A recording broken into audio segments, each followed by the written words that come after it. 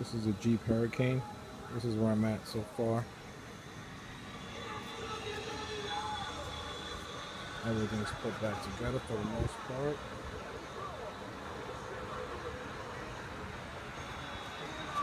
It looks pretty good. Still got a little bit to go.